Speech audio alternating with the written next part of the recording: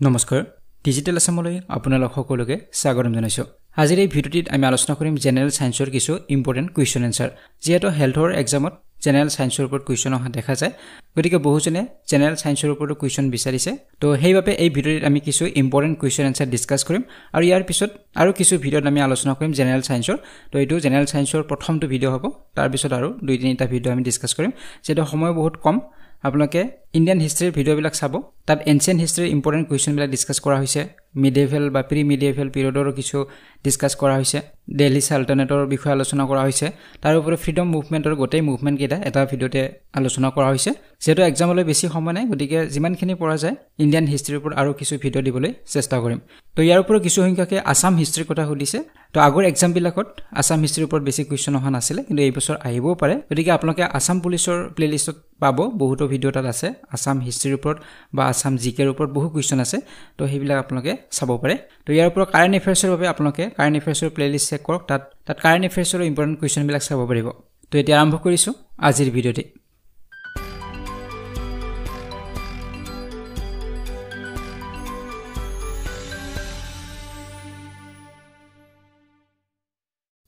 চ' প্ৰথম প্ৰশ্নটো হৈছে electric bulb filament is made of যে বৈদ্যুতিক বাল্ব ফিলামেণ্ট কিহৰ দ্বাৰা নিৰ্মিত?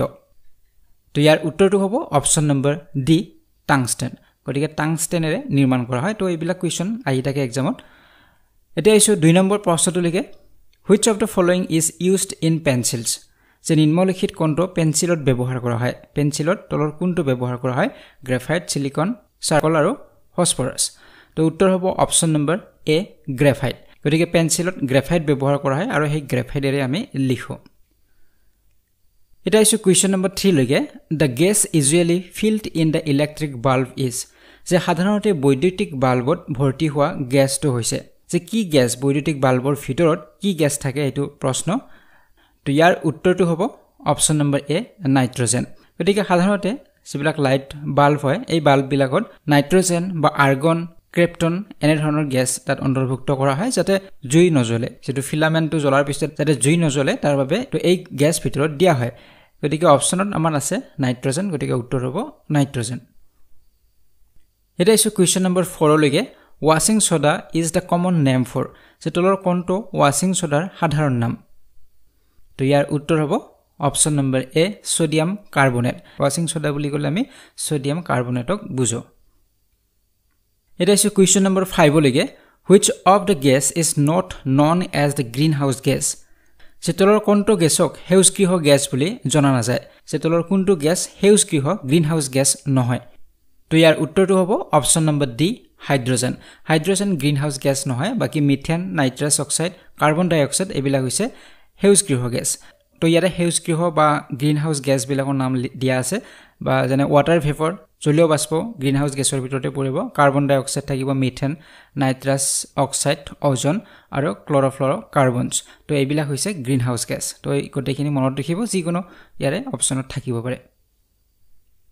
এতিয়া আহিছোঁ question number ছিক্সলৈকে the hardest substance available on earth is যে পৃথিৱীত উপলব্ধ আটাইতকৈ কঠিন পদাৰ্থটো হৈছে। পৃথিৱীত যিমানবিলাক পদাৰ্থ আছে তাৰ আটাইতকৈ কঠিন পদাৰ্থ কোনটো?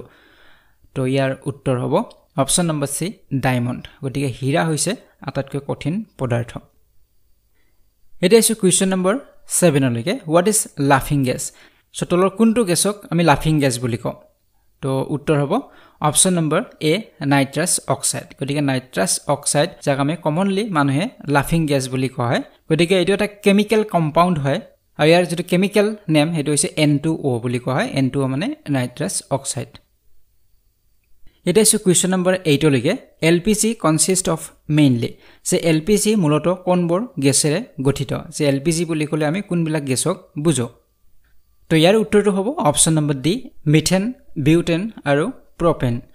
তো এল পি জিৰ যিটো ফুল ফৰ্ম সেইটো হৈছে লিকুইফাইড পেট্ৰলিয়াম গেছ এইটো কুৱেশ্যন আহিব পাৰে এক্সামত যে এল পি জিৰ ফুল ফৰ্ম কি? লিকুইফাইড পেট্ৰলিয়াম গেছ আৰু ইয়াতে মেইনলি কি কি থাকে? মিথেন থাকে প্ৰপেন থাকে প্ৰপাইলাইন বুলি থাকে বিউটেন এণ্ড বিউটেলাইন তো এইবিলাকৰ মিক্সাৰ হয় এল পি জি মানে। গতিকে উত্তৰ হ'ব অপশ্যন নম্বৰ ডি এতিয়া আহিছোঁ question number নাইনলৈকে which of the following is the lightest metal যে নিম্নলিখিত কোনটো আটাইতকৈ পাতল ধাতু সকলোতকৈ পাতল ধাতু কোনটো? যিকেইটা আমাৰ অপশ্যনত দিয়া আছে।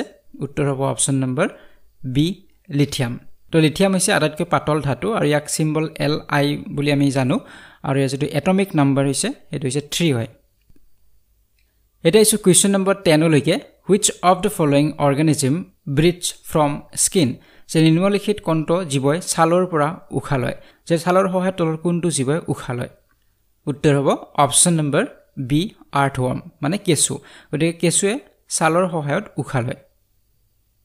এতিয়া আহিছোঁ question number ইলেভেনলৈ which of the following helps in the blood clotting যে নিম্নলিখিত কণ্ঠৱে তেজ গত মৰাত সহায় কৰে। যে তেজ গত মৰাত বা গতা হোৱাত সহায় কৰে তলৰ কোনটো? ভিটামিনে তো উত্তৰ হ'ব option number C vitamin K গতিকে ভিটামিন কেৰ ফলতে আমাৰ ব্লাড ক্লটিং হয় বা তেজ গতা হয়। এতিয়া আহিছোঁ question number টুৱেলভলৈকে who was the father of D N A fingerprinting যে ডি এন এ আঙুলিৰ চাপৰ পিতৃ কোন আছিলে? তো ইয়াৰ উত্তৰ হ'ব option number C Alec Jeffreys তো ইয়াতে দুটা প্ৰশ্ন হ'ব পাৰে। এটা হৈছে ডি এন এ ফিংগাৰ প্ৰিণ্টিঙৰ ফাদাৰ কোন? গোটেই ৱৰ্ল্ডৰ কথা যদি সোধে বিশ্বৰ কথা সোধে তেনেহ'লে এলেক জেফ্ৰিজ হ'ব। আৰু যদি ভাৰতৰ কোন বুলি সোধে father of D N A fingerprinting in India বুলি সোধে তেনেহ'লে হ'ব ডক্টৰ লালজী সিং। তো ইয়াৰ ওপৰত আপোনালোকে মনত ৰাখিব ডি এন এৰ ফুল ফৰ্মটো সুধিব পাৰে। তো ইয়াৰ ফুল ফৰ্মটো হ'ব ডিঅক্সি ৰাইব নিউক্লিক এচিড এতিয়া আহিছোঁ question number থাৰ্টিনলৈকে decibel is the unit to measure যে ডেচিবেল কি জোখাৰ একক? কি জুখিবলৈ আমি ডেচিবল ব্যৱহাৰ কৰোঁ?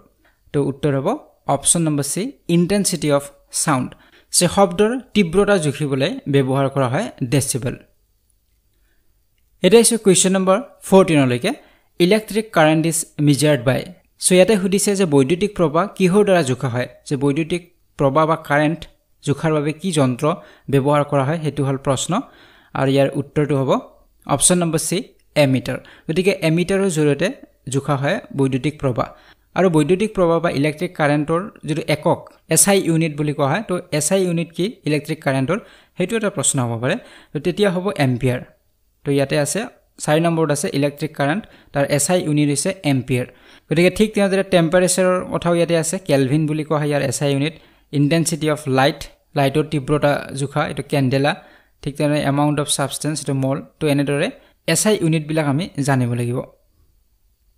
এতিয়া আহিছোঁ question number ফিফটিনলৈকে how many colours the sunlight spectrum has যে সূৰ্যৰ পোহৰত কিমান ৰং আছে? তো ইয়াৰ উত্তৰটো হ'ব অপশ্যন নম্বৰ বি ছেভেন তো ইয়াৰ আগত এটা ভিডিঅ'ত আমি আলোচনা কৰিছিলোঁ এই বিষয়ে যিটো এটমস্ফিয়াৰৰ ওপৰত এটা ভিডিঅ' আছিলে তো তাত আমি আলোচনা কৰিছিলোঁ যে সূৰ্যৰ পোহৰ আমি যদিও বগাই দেখোঁ কিন্তু তাৰ সেই পোহৰত সাতটা ৰং থাকে ৰামধেনুৰ যিকেইটা ৰং সেই ৰংকেইটা আমি সূৰ্যৰ পোহৰত পাওঁ। কিন্তু আমি চকুৰে দেখা নাপাওঁ। আমি আকাশখন যে নীলা দেখোঁ তাৰ কাৰণটো হৈছে কি সূৰ্যৰ পোহৰত নীলা ৰংটোও আছে ব্লু কালাৰটো আছে। আৰু আমাৰ এটমছফিয়াৰত যিবিলাক কণিকা আছে সেই কণিকাবিলাকত ৰিফ্লেক্ট হৈ আমি আকাশখন নীলা দেখোঁ কাৰণ নীলা ৰংটো এই কণিকাবিলাকে বেছি ৰিফ্লেক্ট কৰে। তো সেইবাবে আমি নীলা দেখোঁ। কিন্তু সূৰ্যৰ পোহৰত সাতটা ৰং থাকে গতিকে উত্তৰ হ'ব ছেভেন এতিয়া আহিছোঁ question number ছিক্সটিনলৈকে the good sources of iodine are যে আয়ডিনৰ ভাল উৎসবোৰ হৈছে যে কোনবিলাক খাদ্যত আমি আয়ডিন পাওঁ বা আয়ডিন প্ৰচুৰ পৰিমাণে থাকে সেইটো হ'ল প্ৰশ্ন। তো ইয়াৰ উত্তৰটো হ'ব option number D sea foods যে সাগৰীয় যিবিলাক খাদ্য এই খাদ্যবিলাকত আয়ডিন প্ৰচুৰ পৰিমাণে থাকে। তো ইয়াৰ পৰা এইটোও সুধিব পাৰে যে আয়ডিনৰ অভাৱত কি ৰোগ হয়?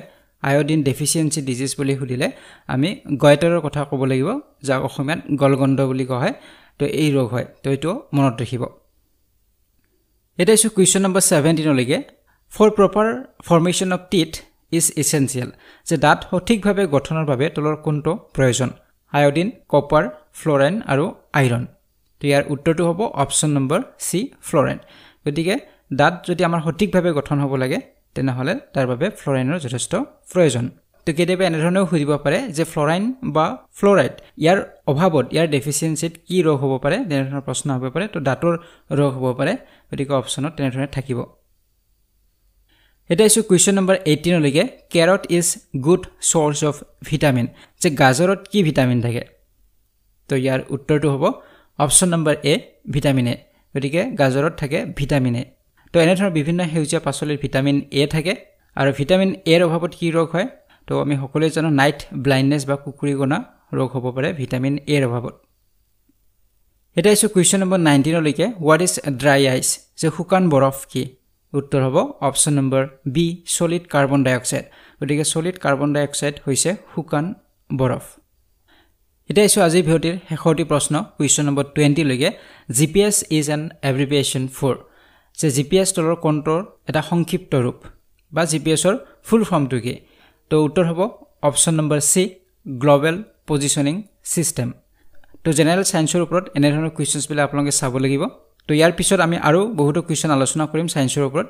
তো যদি ভিডিঅ'টি ভাল পালে লাইক আৰু শ্বেয়াৰ কৰিব। যদি চেনেলটি ছাবস্ক্ৰাইব কৰা নাই তেনেহ'লে চেনেলটি ছাবস্ক্ৰাইব কৰক আৰু কাষৰে থকা বেল আইকনটিও প্ৰেছ কৰি দিব। So' see you the next one thank you